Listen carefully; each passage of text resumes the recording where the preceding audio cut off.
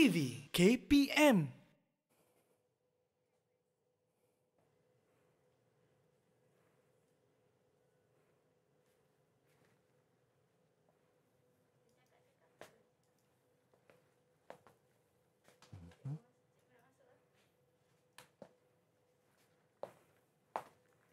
Eh, Irfan seorang je ke hari ni? Mana seorang lagi? Hai cikgu, saya seorang ni cikgu.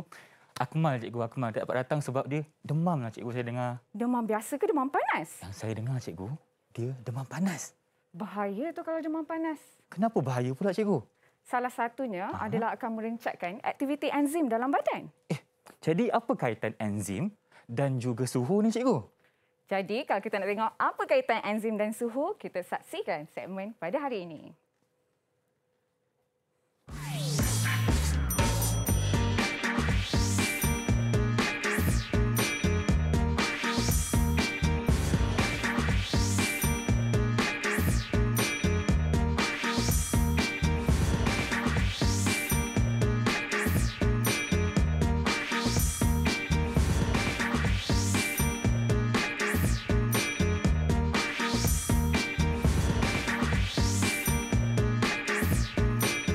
Assalamualaikum dan salam sejahtera kepada anda yang sedang menyaksikan Mahir di Didik TV KPM. Kita bawakan secara langsung untuk anda dua jam hari ini untuk kita belajar dua subjek yang berbeza. Tapi untuk jam pertama ni, kita akan belajar mengenai subjek biologi dengan tema khususnya enzim dan juga metabolisme. Bersama saya sekarang, Cikgu Nurul Syaira binti Syukur. Cikgu, apa khabar? Selamat datang ke Mahir. Alhamdulillah, terima kasih. Okey cikgu, boleh tak cikgu kenalkan diri cikgu kepada penonton di rumah? Dipersilakan. Okey, nama saya Nuri Syaira binti Abdul Syukur. Boleh panggil Teacher Aira dan Teacher saya Aira. sekarang sedang berkhidmat sebagai guru biologi di Sekolah Basrama Penuh Integrasi Gombak. Dan Irfan, uh-huh. sebab keputusan SPM baru sahaja dikeluarkan, saya ingat saya ingin berkongsi. Saya merupakan pelajar tajaan beasiswa Kementerian Pelajaran Malaysia dan mendapat ijazah sarjana muda biologi di Imperial College London, United Kingdom. United Kingdom. Nampak tak cikgu kita ni bukan calang-calang orangnya. Dah belajar jauh ke London, bawa ilmu tu dan kita akan belajar dengan cikgu hari ini. Okey kita cikgu. akan kongsikan. Kita akan kongsikan. Baik. Sebelum kita teruskan cikgu, apa kata kita lakukan sedikit pematahan SOP boleh? Boleh, silakan. Diminta cikgu untuk gunakan je permisi pengumuman. Dipersilakan. Okey, Irfan pun nak juga. Yelah cikgu kan negara kita ni makin lama kes COVID-19 ni makin teruk sebenarnya betul, betul tak? Jadi kita kena jalankan tanggungjawab bersama untuk membantras COVID-19 ni. Baik, jaga jarak fizikal sekurang-kurangnya berapa? Satu meter. Satu meter. Okey cikgu, baik. Jadi tadi kita ada sentuh mengenai enzim ataupun enzim secara Betul. bahasa Melayunya. Jadi cikgu, apakah enzim ni? Boleh tak cikgu ceritakan? Sebenarnya, enzim ni untuk sistem dalam badan kita adalah sangat penting sekali. Namun, enzim ini adalah sangat sensitif dengan suhu, pH dan juga kepekatan enzim dan juga kepekatan substrat. Baik. Jadi hari ini, sedangkan saya nak cerita betapa pentingnya enzim ni, cuba Irfan hembus nafas. Hembus nafas eh. Ya, dalam proses kita menghembus nafas Okey. tadi sebenarnya Irfan, sebenarnya karbon dioksida nak mengangkut keluar dari badan kita pun kita memerlukan enzim. Itulah mem- uh, saya nak tunjukkan betapa pentingnya. Pentingnya. Enzim dalam badan kita dan pentingnya kita kekalkan dalam suhu optimal. Baiklah, kalau penting cikgu cakap enzim dalam badan kita, itulah yang kita akan sentuh untuk hari ini. Betul. Jadi cikgu, boleh tak kita ceritakan sedikit ha, apa yang kita akan lakukan pada segmen yang seterusnya? Ha, kita bagi Ya, sikit betul. lah. Ya, betul. Sebelum ni kalau dah belajar teori, saya rasa Irfan pun dah buat banyak kan mahir uh, teroka kita Betul. belajar.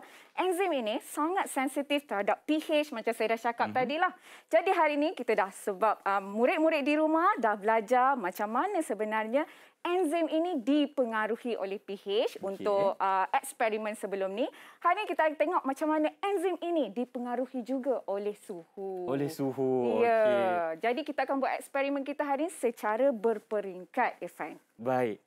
Kalau kita belajar uh, subjek ni sekolah, uh-huh. spesifiknya untuk pelajar tahu uh, tingkat, uh, tingkatan 4 atau tingkatan 5 cikgu? Ya, sekarang ni untuk silibus baru kita belajar dekat uh, subjek tingkatan 4. Okay. Namun kita dah diasingkan daripada bab 4 dengan bab 5. Kalau dahulu kita belajar enzim ini dekat bab 4, hmm. kalaulah murid-murid tengok buku-buku silibus yang lama. Ha, macam saya punya lah kot. Ya, sama. macam kita. Macam kita lah kan. Ha, ha. Jadi silibus baru ni sebenarnya kita belajar dekat bab 5. Okay. Agak-agak kenapa? Kenapa? Ha, kenapa kita asingkan? Mungkin nak bagi lebih penekanan atau bagaimana? Okey, hmm. bijak jawapan tersebut. Tapi sebenarnya lah, kalau dulu silibus lama, okay sains ni kan sentiasa berkembang. Betul. Kalau dulu kita percaya semua enzim adalah protein. Mm-hmm. Tapi lepas kita buat kajian-kajian, Ivan, kita jumpa RNA pun boleh jadi enzim. Okay. Jadi RNA ni macam, oh, dia pun enzim juga. Kenapa? Nama dia tak masuk sekali. Betul. Ah, sebab tu kita belajar. Okay. Sekarang ni kita dah masuk uh, topik lain. Topik lain. Ha, diasingkan, beri penekanan terhadap tersebut. Sebab kita dah jumpa satu discovery yang baru. Ya, betul. RNA juga adalah satu enzim. Boleh menjadi boleh enzim. Menjadi Dulu kita enzim. ingat protein je. Hmm? RNA pun boleh jadi enzim. Okey, baiklah. Kalau macam tu cikgu, kita akan berehat dulu. Uh-huh. Kita akan kembali selepas ini hanya di Mahir. Alright.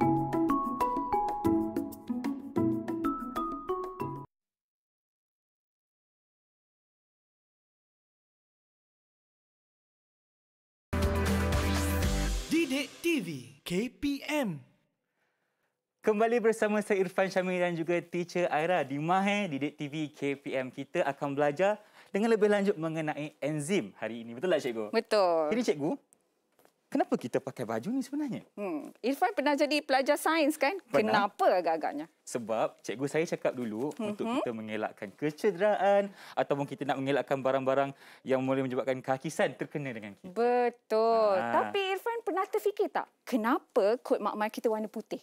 Kenapa tak warna pink ke? Betul. Warna jingga? Kalau ikutkan sekarang ni kita boleh je warna macam-macam warna ha, kan? Kenapa? Kenapa warna putih? Boleh tak cikgu terangkan? Ya, sebenarnya awal-awal penciptaan kod makmal dulu warnanya adalah warna hitam. Warna hitam? Tapi bila doktor melaksanakan pembedahan dan sebagainya, kita tak perasan kadang-kadang ada darah ah. dan sebab kita dah tahu efek kontaminasi, okay. sebab itulah pada tahun 1913 secara rasminya kita dah tukar kod makmal kerana warna putih bagi lebih incredibility seperti itu. Baiklah maknanya kalau kita pakai baju putih ni kalau ada darah terpercik kita boleh nampak. Ya betul. Maknanya kita boleh menghindarkan bakteria dari sini. Betul. Okey. Jadi cikgu hari ini saya kena pakai juga ke sebagai pelajar cikgu hari ini? Silakan. Silakan. Saya lagi suka nampak credibility okay. macam tu. Okey, baiklah. Cikgu sarung tangan ni macam mana pula? Okey, jadi untuk eksperimen kita pada hari ini, sebelumlah kita laksanakan eksperimen, mm-hmm. hari ini kita kena tahu asas dulu. Sebab kalau kita tak tahu asas, kita memang tak boleh nak tahu macam mana nak baca keputusan eksperimen Tujuh. kita hari ini. Alright, dekat tangan saya ni Irfan hmm. ada iodin. Okay. Alright, nampak? Iodin ni warnanya warna kuning. Warna kuning. Bila iodin ni kena dengan kanji, dia akan bertukar warna jadi biru hitam. Biru hitam. Okey, biru gelap lah maknanya kan? Ya. Baik. Uh, kat mana agak-agak Irfan boleh jumpa iodin ni kalau dekat rumah biasa? Uh, mungkin dalam uh, kita punya kotak safety aid tu. Betul. Uh. Peti kecemasan yes. kan sebagai antiseptik. Tapi itu adalah iodin namanya povidone iodine. Iodin yang kita gunakan di makmal adalah lebih pekat. Sebab tu kita perlukan pakai sarung tangan getah macam okay. hari ini. Jadi Irfan kena pakai jugalah ni. Silakan okay, Irfan baik. untuk selamat sebab dia ada sifat merengsa. Merengsa. Okey, kita teruskan dulu. Alright. Jadi, iodin ni dengan warna kuning dia macam ni, hmm? bila ada kanji dia akan bertukar warna jadi biru gelap biru kan? Gelap, ha, Irfan pun dah belajar dah betul. dulu. Alright. Jadi, kat mana kita boleh dapat kanji selalunya Irfan? Pagi-pagi kita akan makan apa? Selalunya? Kanji? Hmm. Kalau Irfan nak makan nasi lemak cikgu. Yes. Nasib baik pagi tadi ada makan nasi lemak ni Betul. tadi. Kita ada nasi. Okey. Jadi kita akan tunjuk betul tak nasi ni ada kanji. Ah, kita baik. akan titiskan iodin dekat nasi. Mhm. Alright, kita akan Masukkan. titis macam ni. Nampak warna kuning ni dah jadi warna biru gelap daripada Cepat warna dia bertukar, kuning. cikgu. Ya, ini positif. Maksud dia Irfan, kalaulah ada orang jual ke apa macam, belilah nasi ini. Bebas kanji, tiada kanji. Okey. Apa Irfan boleh buat? Saya boleh test dengan iodin. Ya, tapi jangan letak dekat eh, periuk nasi kat rumah mak ya, jangan. Okey. Okey. Jadi, Mhm. apa kaitannya kalau Irfan tadi kan kita dah tahu itu adalah ujian makanan. Okey. Apa kaitan dengan enzim Irfan? Kaitan dengan enzim maknanya Hmm. kalau uh, kita punya solusi itu Hmm. bertukar kepada warna biru gelap maknanya ada enzim yang terhasil. Bukan sebenarnya masih lagi ada kanji. Masih ada kanji. Ya. Okey. Ma- Badan kita, Ifan, kalau kita tengok, terdiri daripada sel-sel. Betul. Masalah sel kita adalah sangat kecil. Kanji ni selalunya wujud dalam bentuk polisakarida, karbohidrat. Polisakarida tu macam mana cikgu? Polisakarida, kalau kita tengok gambar kat situ, Mhm. ia adalah chain. Macam tengok kan, dia ada rantaian yang sangat panjang. Baik. Jadi tak boleh nak masuk dekat dalam uh, sel-sel kita yang kecil. Setuju? Jadi perlunya enzim dalam badan kita untuk kita cernakan rantaian panjang ni kepada bentuk yang lebih ringkas. Ringkas dan kecil lah. Betul. Okey. Agak-agak Irfan kat mana lepas kita makan kat mana pertama sekali Mhm. enzim ini dihasilkan untuk pencernaan. Bila kita makan Hmm. melalui mulut. Ya. Jadi, adakah terhasil kat mulut cikgu? Benar. Benar sekali. Kalaulah kita boleh, ah, cikgu pun dah sediakan gambar sebenarnya. Dalam mulut kita ada tiga jenis kelenjar. Betul. Tapi kelenjar yang paling besar kita panggil kelenjar parotid. Kelenjar parotid, eh? Ya, di situlah di mana ailio dihasilkan dengan sangat banyak. Ailio kita bukan biasa-biasa je Irfan. Mhm. Sebenarnya ah, ki- kita ada enzim yang kita namakan enzim amylase dalam Amylase. ailio kita. Baik. Jadi di samping kita mengunyah, kunyah, kunyah tu, Mhm. mm-hmm. sebenarnya kita akan rembeskan enzim amylase ni, kita hancurkan polisakarida kepada maltosa. Ah. Saya tak tahulah uh, Irfan perasan ke tak. Irfan biasa kunyah makanan berapa kali? Faham. Kalau ikut sunnah tu 44 kali tapi 44 kali. kalau Oh. realistiknya mungkin dalam 10 atau 15. Ah, tak apa, lapar, lapar. saya faham. lapar kan. Ah. Jadi, kalaulah Irfan perasan dan menghargai makanan, ah Okey. begitu. Polisakarida ni, sifat dia, dia tak manis. Dia tak manis. Dia tak manis polisakarida. Right? Dia juga tidak larut. Baik. Okey. Bila kita makin lama, kita kunyah, kunyah, kunyah. Kalau Irfan perasan, dia akan jadi lebih manis. Ha, sebab itulah mungkin sunnahnya kunyah 44 kali. Maknanya lagi lama kunyah, lagi manis lah. Ya, lagi manis. Itulah Betul. sepatutnya. Bila lagi manis, lagilah uh, manis tu datangnya daripada maltosa. Okey. Apabila polisakarida ni kita dah melalui proses hydrolysis, Hydrolysis. oleh enzim Amylase. betul menjadi maltosa dan maltosa itulah yang memberi Rasa rasa, manis. manis. Tapi agak-agagnya maltosa ni boleh masuk tak dalam sel kita? Hmm, saya tak pasti cikgu sama ada matosa ni dia bersifat besar atau kecil. Hmm. Mungkin cikgu terangkan kepada saya. ya, maltosa dia adalah lebih kecil daripada polisakarida. Okey. Namun tak cukup kecil untuk masuk dalam sel kita. tak cukup kecil tak lagi. cukup kecil. Jadi sebenarnya ailio kita, enzim daripada ailio kita adalah langkah pertama pencernaan. Tak apa, murid-murid kalau macam, oh macam mana nak habiskan Macam mana? pencernaan? Baru bola panjang. pertama ni, ya. Panjang sebenarnya. Tapi bila dah masuk uh, bab tujuh, bab lapan, barulah mereka akan tahu macam mana daripada polisakarida menjadi glukosa dan akhirnya barulah masuk dalam badan kita menjadi tenaga. Yes. Okey. Tapi kita masih di chapter berapa cikgu? Kita sekarang ni masuk lagi di bab lima. Bab lima. Enzim dan metabolisme. Tapi betul macam cakap tadi lah untuk kita faham eksperimen sebelum ni, eh, selepas ni, Selepas ini. kita kena faham dulu selagi kanji Uh, selagi ada kanji, warna iodin akan bertukar menjadi warna Okey. biru Warna biru gelap. gelap. Betul Hmm. tu. Cikgu, selain daripada nasi cikgu kan, Hmm. apa lagi contoh-contoh makanan yang mempunyai kanji sebenarnya? Bet, uh, kalau mempunyai kanji ni, kalau kita cakap pasal kanji, dia adalah ru, makanan ruji manusia. Makanan ruji Alright, manusia. makanan ruji. Jadi kanji ni kita boleh dapat dari kentang. Ha, kalau nak cuba kan potato fries, kalau beli minum petang, letak iodin. Letak kalau iodin tukar, sikit, kalau ha. tukar warna jadi biru hitam macam ni, biru gelap yang cikgu dah tunjuk awal tadi, maksudnya ada kanji dan ia boleh menjadi sumber tenaga ke Betul. dalam badan kita. Oh, bila dia telah bertukar menjadi glukosa. Berglukosa. Tapi elok tak kalau makan berlebihan? eh, mestilah tak elok cikgu. Kenapa agak-agak? Kenapa? Mungkin sebab kalau terlalu lebihan, contohnya gula kan, betul hmm. tak? Nanti kita akan jadi hyperaktif. Betul Betul. tak? Jadi glukosa ni kita sangat perlukan untuk tenaga. Nak kelip mata ni pun kita perlukan tenaga sebenarnya. Betul. Tapi kita kena tahulah kadar uh, badan kita macam mana. Banyak tak tenaga yang kita guna hari-hari. Hmm. Kalau lah tak guna macam main game je kan. Ha, dekat murid-murid dekat rumah. ha, kalau asyik main video game tak guna banyak tenaga. Tapi makan banyak-banyak. Banyak-banyak. Makan kanji banyak-banyak. Hmm. Semua ditukar jadi glukosa. Pasal glukosa ni macam eh nak pergi mana? Pergi mana sebab tak tak- boleh nak tak- tak ada, guna tak, ada, kan? tak Ah. guna tenaga. Jadi dia akan disimpan menjadi lemak. Ah. Ah, tu yang kita takut. Sebab itulah kalau kita tak buat aktiviti yang aktif, jangan makan berlebihan. Ya. Kalau kita contohnya orang yang kerja di uh, tapak pembinaan, Betul. mereka itu tak apa nak makan banyak Hmm. sebab mereka perlukan tenaga. Tetapi kalau kita ni sebagai orang biasa makanlah sederhana sahaja, cukup untuk badan kita perlukannya. Betul, Ifan. Baik, cikgu, sebelum kita teruskan, Mhm. apakah bahan-bahan yang kita perlukan untuk aktiviti kita selepas ini Alright. untuk uji kaji? Untuk selepas ini seperti biasalah, alright, kita perlukan enzim amylase. Hmm. Macam saya cakap tadi, amylase kita boleh dapat kat mana? Ailio. Alright. Sebelum ni memang kita suruh pelajar kita sumbangkan ailio mereka. Okey. Tapi sekarang sebab kita nak kepekatan yang spesifik, kita dah bancuh di mak-mak. Dah bancuh siap-siap dah. Ya, Okey. seperti ingat tak Ifan, saya kata tadi kanji takkan larut dalam air. Betul. Jadi kita terma yang kita gunakan adalah ampayan kanji. Kita nampak kanji. ampayan. Okey, nampak kat situ. Ya, betul. Kita tak guna larutan kanji. Kita guna ampayan kanji. Murid-murid kena betul-betul spesifik dengan penggunaan ayat-ayat begini. Seterusnya cikgu, Mhm. kita ada apa lagi? Jadi, bila hari ini kita akan menggunakan kukus air. Mhm. Nanti uh, untuk segmen seterusnya, bila kita akan melaksanakan eksperimen, cikgu akan tunjukkan dengan lebih lanjut lagi. Okey. Okey.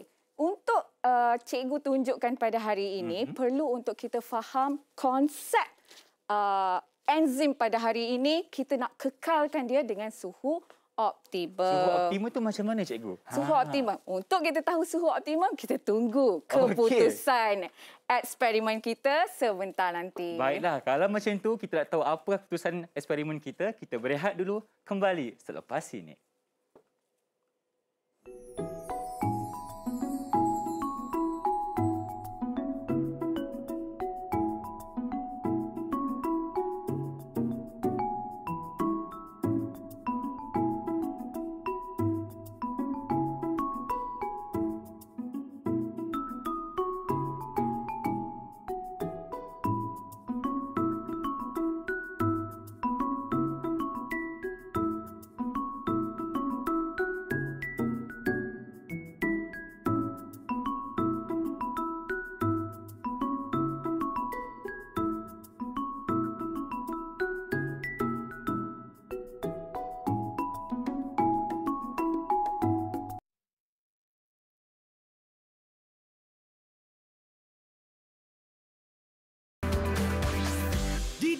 TV KPM Kembali bersama saya Irfan Syamil rancangan Mahir di Didik TV KPM. Cikgu, Irfan dah tak sabar sangat sebab Ya. sekarang ni kita akan lakukan satu eksperimen yang menarik.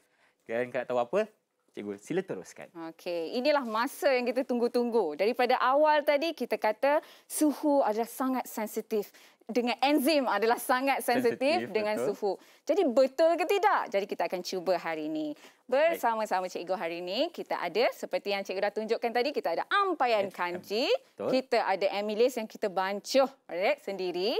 Jadi uh, saya nak minta tolong Irfan sebenarnya untuk Tolong buat eksperimen. Ha, sebenarnya eksperimen hari ini banyak kena buat. Banyak kena buat, Ah, eh? Banyak langkah-langkah dia kena buat. Tapi jangan risau, kita akan belajar satu demi satu. Okey. Okey. Jadi kat sini kita mm-hmm. ada lapan. Alright, lapan tabung uji biasa. Okey. Okey, yang semua ni dah dilabelkan dengan A1, A2, B1, B2, C1, C2. D1, D2. Ya, Ah, benar. nampak?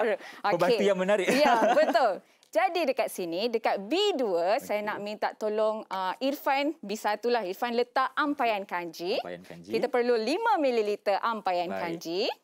Kita masukkan Ah, sekarang ke? Ni, sila. Okey, baik. Okey.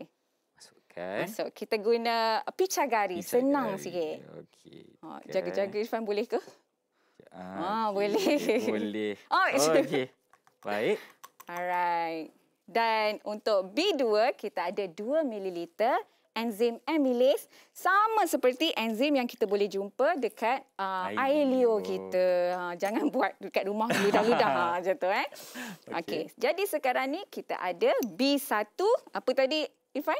Kanji ampayan Kanji. Alright. Kita ada B2 iaitu Amylase. amylase. Tadi Irfan ingat tak? Mhm. Selagi ada kanji, warna iodin ni akan bertukar menjadi Warna biru gelap. biru gelap. Amylase boleh menghancurkan kanji, Betul. menghidrolisis kanji. Jadi, sebab kita nak uji suhu yang berbeza-beza pada hari ini, alright, sebab pemanasan tidak boleh dijalankan di makmal. Betul. Jadi, jangan risau. Jangan alright, risau. cikgu dah sediakan video untuk kita tunjukkan langkah demi langkah pemanasan di makmal. Ada video cikgu eh? Ada. Tengok sekarang ke? Boleh, silakan. Jom kita saksikan video itu.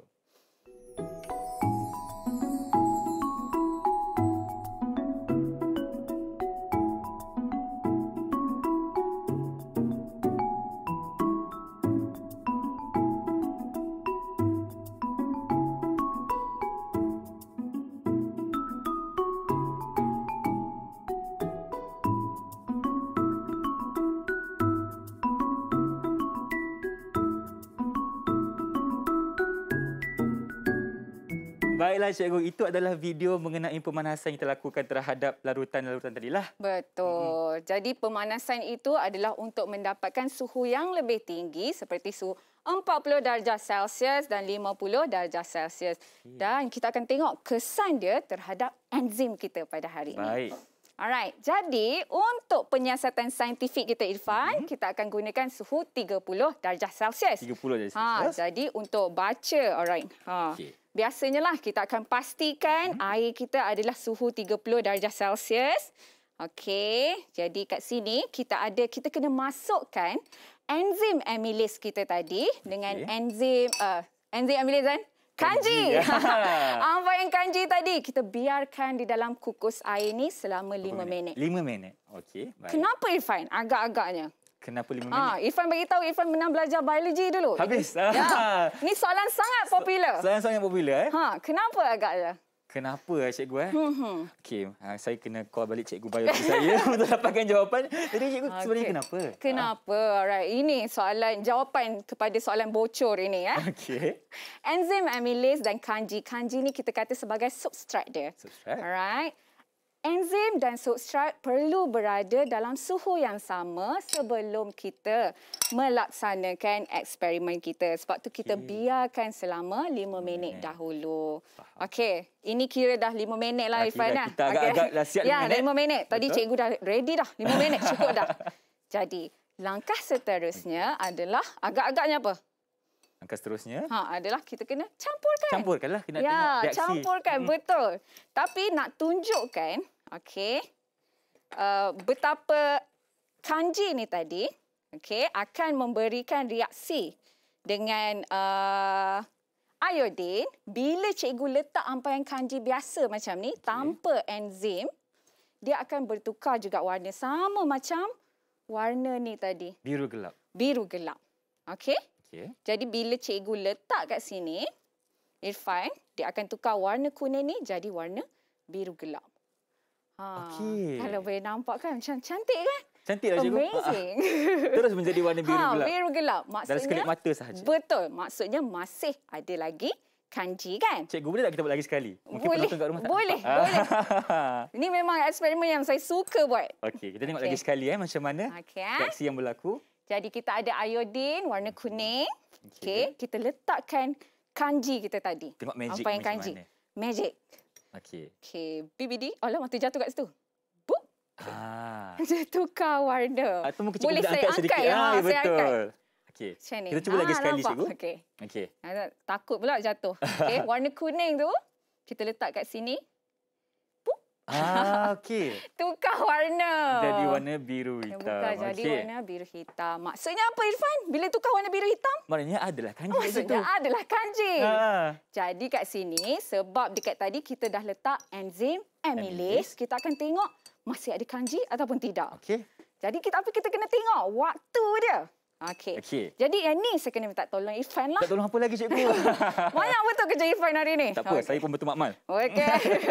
Jadi bila cikgu campurkan ni, cikgu Okey. kata Irfan kena tekan. Okey, gunakan jam randing Gunakan eh. jam randing. Ah, Sebab tu okey, kita baik. buat aktiviti ni di makmal selalunya berkumpulan. Okey. Patutnya kita kena kacau dia. Ha Kena ni ada. kacau, Okey. okey. Baik. Cikgu campurkan. Mhm. Alright, Irfan boleh tekan. Tekan. Okey. Okey, bila dah tekan kita campurkan sikit. Okey. Okey. Sebabnya okey, sorry. Ha. Ni tadi kan.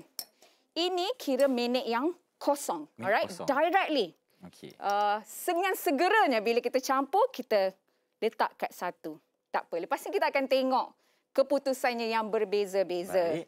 Setiap 30 saat, Irfan bagi tahu cikgu. Okey, kejap sikit Ha, lagi. sikit lagi, tak apa kita tunggu kejap. 30 saat. 30 saat, kita drop lagi. Oh, yo, yo. Okey. Setiap 30 saat, Irfan bagi tahu drop baik. lagi. Tapi yang pentingnya Irfan, setiap kali kita dah titiskan dekat sini, Okey. kita kena basuh dengan air. Baik. Tu sebab kita nak hentikan, okay? kita nak bersihkan balik penitis ni. Okey, cikgu lagi sikit cikgu. Okey, sikit Ah. lagi. Kita tunggu. Ivan tak sabar-sabar ni. TikTok, TikTok. TikTok, TikTok, okey. Tapi jangan risau, selalunya dia tak tak cep, secepat sangat lah. Betul. Okay. Kita go- goyang-goyang sikit. 3, 2, 1. 30 saat. 30 saat, kita drop lagi. Okey, nampak dia dah lambat sikit dah nak boleh tukar warna. Eh, betul lah cikgu. Okey. Ah, Ha. Okey. Ini cikgu ada yang kita dah tinggalkan lama sikit. Dah lama Okey, sikit kita dah. tunggu, ah. Okey, Kita tengok, baik, eh. Baik, baik. Okey. TikTok, TikTok, 30 Okey. saat. Kita cuba eh. Okey, kita cuba lagi. Alright. Sini. Okey. Magic. Magic. Okey.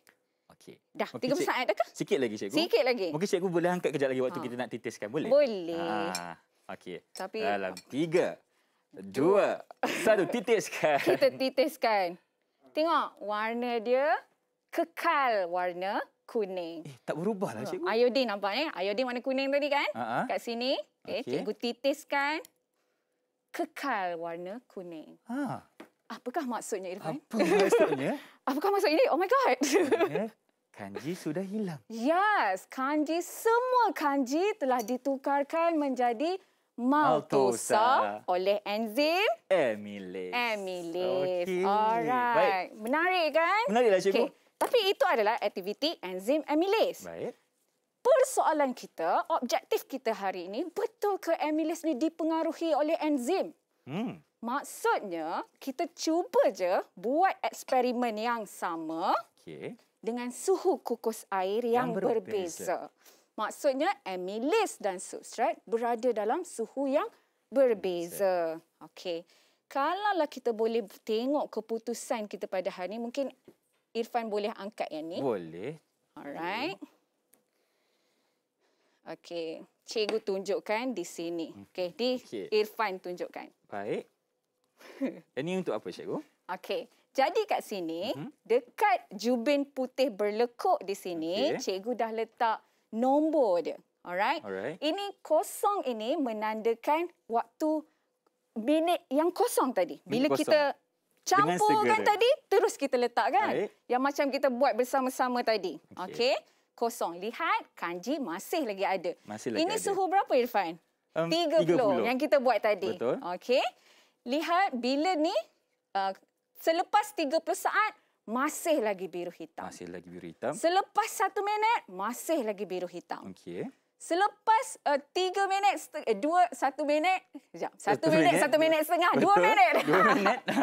Selepas dua minit, kita tengok bila dah dua minit setengah, barulah reaksi kanji bersama amylase kita cakap telah lengkap. Telah lengkap. Warna dia kekal warna kuning. Dengan suhu 30 Dengan suhu tadi 30 darjah Celsius. Alright. Tapi kita tengok pula.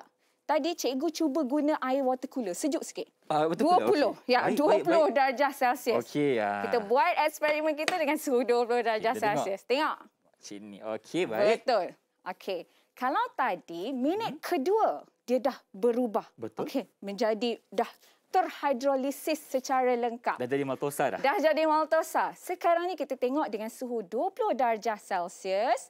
Kita ambil ni 30 saat, 1 Mhm. minit, 2 minit, 3 minit. Ah, dia ambil masa, makan masa lagi masa, ya. Lebih lama berbanding suhu 30 Darjah. darjah Celsius. Okey. Jadi kat sini yang kita tunjukkan, Hmm? bila suhunya bertambah, makin cepat, Cepat. aktiviti enzim amylase. Baik. Jadi betul lah objektif kita. Enzim amylase adalah dipengaruhi oleh dengan suhu. Okey. Okey, tapi kita tengok. Okey, cikgu tak nak berhenti kat situ. Tak nak berhenti. Saya pun tak nak tak lagi nak, berhenti. Kita tengok lagi. jadi kita tengok. Kalau suhu tinggi lagi apa jadi? Jom kita tengok juga. Ha, sebab tu dekat uh, makmal tadi kita panaskan lagi air. Okey. Kita cuba 40 darjah Celsius. Baik. Okey, kita lihat apa jadi dengan suhu 40 darjah Celsius. Ifan nak tolong tunjukkan. Boleh. Tak ada Ha. masalah. Okey. Ini 40 darjah Celsius ya? 40 darjah Celsius. Agak-agak apa yang Ifan rasa? 40 darjah Celsius ni? Ha, cuba kalau kita Okey, ha, macam ni. Ha. Ah. Bila dah berapa minit ni? Satu minit, dua Dua minit. minit. Seti- sebab setiap lekuk adalah 30 saat. Ha. Ini juga murid-murid kena ingat bergantung dengan soalan ataupun pernyataan yang diberi dalam uh, soalan, Soalan, lah. betul. Ah, kalau kat sini kita buat setiap 30 saat. Jadi satu minit lah. Dua lekuk satu minit. minit. Satu minit, dua minit, tiga, Tiga minit, empat minit, minit. lima minit. Dah lima minit setengah Irfan. Cikgu dah penat dah tunggu. Tak ada apa-apa pun cikgu. Tak berubah-ubah. Tak berubah-ubah. Kenapa? Katanya bila tinggi suhu lagi cepat. Kenapa And cikgu? I was wondering, kenapa? Kenapa macam ni? Lepas tu macam, okey, mungkin mungkin kita bermasalah kat sini. Okey. Mungkin suhu 40 darjah Celsius ni tak apalah kita kita just uh, ketepikan dulu Baik. keputusan dia. Cikgu cuba lebih ekstrim lagi. 50 darjah 50 darjah Celsius. Apa keputusannya cuba cikgu? Apa yang terjadi? Okey, apa yang terjadi? Apa yang terjadi? Okey. Ah, Ivan tunjuk. Kenapa, macam sama? Kenapa tidak berubah? Kenapa tidak Apa berubah? masalah kita kat sini cikgu? Di mana salahku? Jadi, Okey. bila kita tengok macam ni, Mhm. bila suhu lebih daripada 30 darjah Celsius, kita guna suhu 40 dan 50, kita dapat keputusan yang sama. Betul. Jadi, that menimbulkan uh, kenapa? Kenapa? Kenapa kan? Ha. Adakah, Adakah- untuk proses aktiviti uh, enzim dan juga amylase ni memerlukan suhu yang Spesifik? spesifik? Ya, betul. Apakah suhu spesifik tersebut? Okey, jadi okey. Terima kasih Irfan boleh Sama-sama. letak. Okey. Jadi, sebelum untuk kita menilai, jadi kan kita dapat uh, keputusan yang berbeza-beza hari ini. Jangan risau, cikgu dah sediakan dalam gambaran yang lebih mudah untuk para pelajar memahami dia. Okey. Okey. Mungkin cikgu boleh terangkan? Alright, boleh. Kalau tengok kat sini, suhu 20 darjah Celsius, tak apa, kita tunggu kamera tunjuk dulu. Okey. Suhu 20 darjah Celsius, kita lihat berapa lama masa yang diambil. Tiga minit cikgu. Ha, tadi kan 3 minit. Betul. Tapi itu adalah masa yang diambil. Mhm. Selalunya soalan dia minta kadar, Kadar. reaksi enzim. Okey. Kalau kita belajar fizik ke, Irfan ambil fizik Ambil dulu. fizik? Alright kan? Kalau kita belajar fizik, nak cari kadar atau bahasa Mhm. Inggeris dia rate, kita kena bahagi dengan masa. Betul. Alright. Jadi formula dia satu bahagi dengan masa yang diambil, kita dapat kadar reaksi enzim Iaitu tersebut. 0 point 0.33 untuk suhu 20 degree Celsius, 20 darjah Celsius. Macam mana dengan suhu 30 darjah Celsius? Berapa minit tadi, Ifan? Dua minit cikgu. Dua minit. Jadi, kita tahu kadar dia adalah lebih cepat. Betul. Bila kita bahagi dengan masa, Masa. ni, kita dapat 0.50.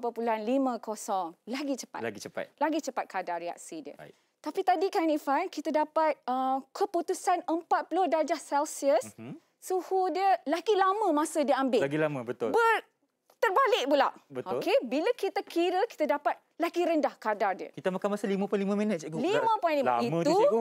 sebab cikgu guna satu je. ah. Kalau kita tak puas hati, kita tambah-tambah lagi. Sebenarnya cikgu dah buat tiga kat rumah. Kita buat Okey. tiga jubin lekuk sampai 10 minit. Sebenarnya Irfan tak tukar-tukar Tak warna. tukar-tukar juga. Tak tukar. Jadi Apakah apakah yang terjadi? Jadi bila kita tengok kadar tu, kita dapati kadar ni jauh lebih rendah, Rendah. berbandingan suhu 20 Dan darjah Celsius. 30. Maaf. Tapi tak saintis lah kita Irfan kalau kita tak buat graf. Betul lah tu. Sebab tu kita buat graf. Jadi, sewaktu cikgu dah print juga graf, ini juga graf yang dapati daripada buku teks masing-masing. Murid-murid kalau nak uh, refer balik, nak rujuk balik, boleh tengok buku teks masing-masing. Jadi, dekat buku teks masing-masing, kita boleh nampak pengaruh suhu terhadap aktiviti enzim dan mereka boleh nampak graf sebentuk macam ni lah. Okey. Nanti kalau kamera tunjuk, boleh nampak graf macam berlekuk macam tu. Berlekuk cikgu yang dekat tengah-tengah itu apakah maksudnya? Ya, sekarang ni kita tak boleh nak betul tentukan kerana julat suhu yang kita gunakan adalah besar. Betul. Untuk lebih eksperimen yang lebih saintifik, ha, macam sekarang cikgu tengah buat master Science Okey. Microbiology. Jadi kita memang kena betul-betul Sangat-sangat detail, spesifik, spesifik. Hmm. detail. Ha, jadi kalau murid-murid buat uh, uh, buat eksperimen ni dengan julat suhu yang lebih kecil, sebenarnya kita dapati bila suhu lebih daripada suhu 37 Okey. darjah Lebih Celsius. 37, okey. 37 barulah aktiviti enzim ni akan menjadi lebih rendah. Lebih rendah. Okey. Jadi kenapa 37 darjah Celsius? Maknanya 30 darjah Celsius itu adalah suhu optimal bagi saya. Suhu optimal. Kat mana jumpa suhu 37 darjah Celsius? Selepas kita melakukan eksperimen lah cikgu, kita dapat tahulah. Ya, betul. Jadi, suhu 37 darjah Celsius adalah kita panggil sebagai suhu optimum. Suhu optimum. Lebih daripada suhu 37 darjah Celsius, kita akan dapati tindak balas enzim akan makin Menurun. menurun. Maksudnya apa bila tindak balas enzim semakin menurun? Maksudnya Maksudnya, kenapa? Apa terjadi kepada enzim tersebut? Enzim What tersebut happened? tidak melakukan sebarang reaksi lah cikgu maknanya. Ha, ya. Kenapa tiba-tiba enzim tu terus je dia decide, dia buat keputusan. That's it. That's it. Lebih 37. I don't want Not anymore. gonna work. Why? Kenapa agak-agak je? Hmm, kenapa cikgu? Ya. Mungkin adik kat rumah boleh teka kenapa? Kenapa? Jadi, okey, cikgu bagi. Ini juga jawapan kepada soalan bocor. Soalan Baik. yang sangat popular ditanya. Kenapa lepas suhu 37 darjah Celsius, enzim terus buat keputusan? That's it. Tak nak kerja dah. Dah penat kerja? Ya, sebab kita kata enzim itu telah ternyah asli. Ternyah asli. Ya, bagi Okey. pelajar yang belajar dalam bahasa Inggeris, ini adalah terma yang dikatakan denatured. Denatured. Denatured. Okey. Ha, bahasa Melayu ternyah, asli. Baik. Jadi, okey, sebab untuk enzim berfungsi, sebenarnya saya rasa dah belajar dah macam mana sebenarnya enzim berfungsi adalah dia kena betul-betul spesifik dengan Spesifik. substrate. Terperinci. Betul. Dia spesifik. Dia macam fit. Very fit directly. Baru dia boleh bekerja kan? Ha, baru dia boleh. Macam mangga kunci. Sebab tu kita guna enzim, uh, guna hipotesis mangga kunci. Ah. Kalau kunci tak muat dekat mangga kunci, tak boleh nak buka kan? Betul? Betul. Ha, sebab Macam sia-sia sahaja. Sia-sia sahaja. Macam nak buka rumah orang tak boleh, tak boleh. Ha, dengan kunci kita. Jadi dia kena betul-betul spesifik. Spesifik. Jadi bila enzim pun macam tu juga. Kena betul-betul spesifik.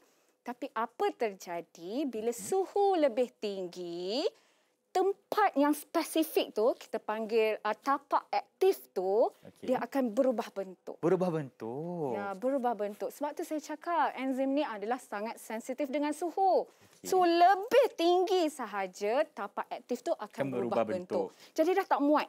Alright, Ah. substrate nak masuk. Maknanya tak boleh bekerja dah lah. Ya, tak boleh lah. That's why lepas suhu 37 darjah Celsius, dia decide apa Irfan? I don't want to walk Yes, anymore. I don't want. That's it. That's it.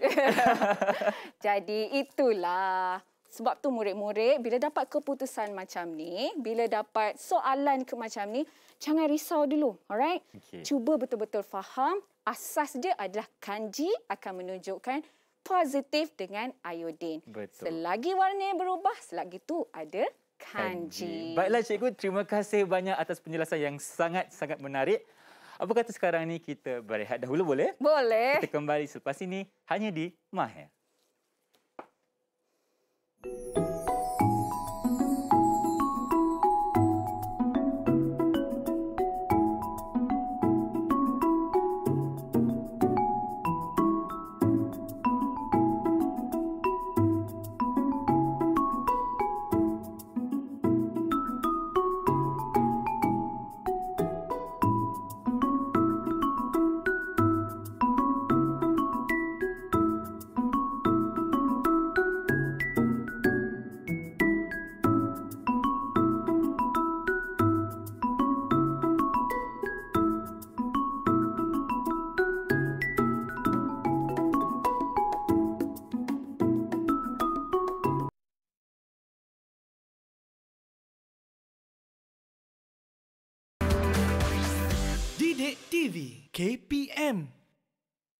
Masih bersama saya Irfan Syamil dan Teacher Aira dalam rancangan Mahir di Didik TV KPM.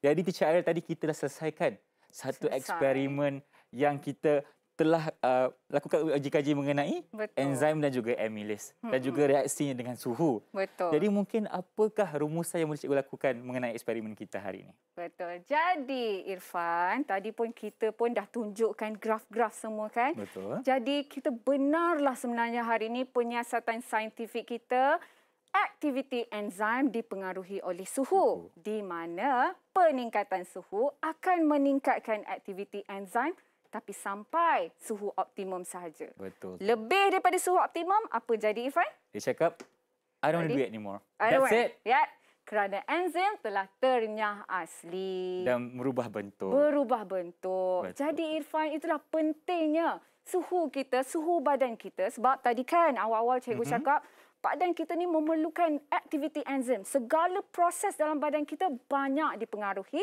oleh aktiviti enzim dan pentingnya badan kita berada dalam suhu optimum. Okey. Jadi cikgu, ada orang cakap dekat saya lah. Orang cakap bukan saya cakap lah. Eh. Kalau demam ni, lagi lebih suhu, lebih baik untuk badan kita melawan penyakit. Betul ke cikgu?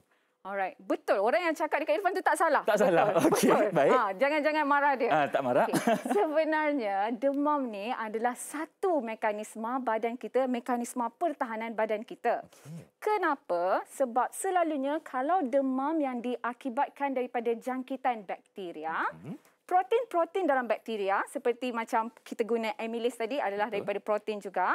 Okey, protein-protein dalam bakteria ni dia tak boleh hidup dengan suhu yang tinggi. Okey. Sebab tu bila badan kita dah jadi panas, Panas. macam tu kita akan bunuh bakteria-bakteria yang Faham. cuba menyerang badan-badan kita hari ini. Okey. Sebab itulah dikatakan sistem pertahanan badan. Namun apa yang bahaya Mhm. sekiranya demam yang terlalu panas dan berlanjutan lama. Jadi Ifan boleh tengoklah kan bila demam panas apa akan terjadi dalam enzim kita. Ini sedangkan enzim yang paling penting untuk pencernaan. Okey. Disebabkan itu Irfan, Mhm. kan kalau demam selalu bagi makan bubur. Betul. Bagi selalu rasa macam tak ada rasa Bagi makan makanan. buah apa semua Ah, kan? Makan buah, bagi nutrien. Kenapa bagi makan bubur tu adalah untuk membantu proses pencernaan. Sebab Ah. enzim kita dia tidak berfungsi dengan kadar optimum. Baik. Jadi betul lah orang cakap tu. Tak Betul, salah. tak tapi salah. dengan suhu yang optimal Betul. sahaja. Baiklah cikgu. Dengan itu saya nak ucapkan terima kasih kepada cikgu kerana banyak um, mengajar saya mengenai subjek biologi untuk hari ini. Tapi sebelum kita akhiri program kita, mungkin cikgu boleh berikan kepada saya dan penonton di rumah mengenai tips untuk belajar subjek ini dengan lebih mudah. Silakan. Bagi saya sebab saya merupakan pelajar biologi dahulu dan hmm. saya pun buat ijazah dalam sains biologi. Okey. Sekarang ni saya buat sarjana sains dalam Ah. microbiology. Nampak, tak Nampak betapa tak? saya suka? Betapa sukanya sains. kenapa saya suka biologi Okey. dan kenapa saya inginkan murid-murid saya suka juga biologi? Asasnya kita kena faham.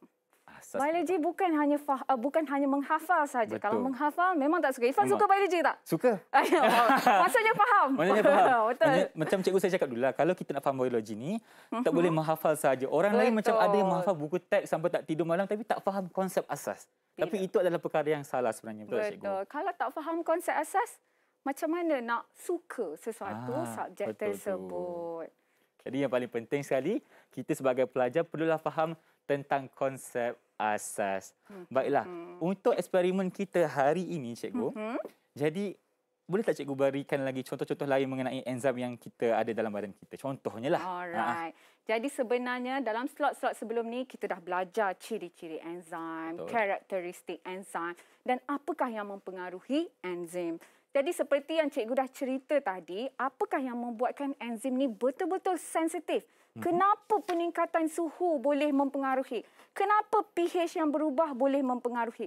Semuanya ada kaitan dengan tapak aktif enzim tersebut. Tapak aktif enzim tu macam mana cikgu? Boleh tak explain? Ha, ha. Ya, tapak enzim tu adalah tempat di mana substrat tu bercantum. Okey. Jadi, kalau tapak aktif tu tak ada, sebab tu enzim ni, kita cakap dia sangat spesifik. Spesifik. Enzim amylase hanya untuk kanji. Ah, Enzim erepsin hanya untuk protein. baik. Ha, enzim trypsin untuk polypeptide. Ha, adakah ni itu- banyak panjang Ha, lagi. episod seterusnya, Terus, Cikgu. Episod seterusnya.